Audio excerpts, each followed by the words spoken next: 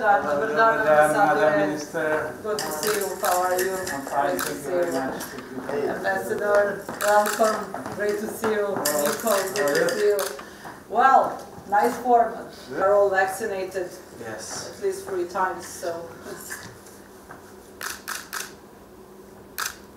Okay, thank you. Please.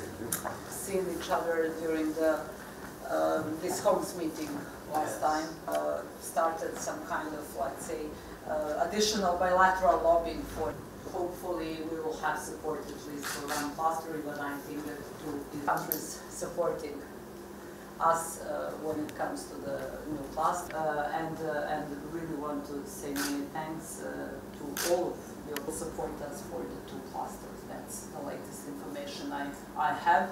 What's the argument for maybe more critical countries? Because, you know, it's very uh, tangible result, you know, if we have a date, if everybody knows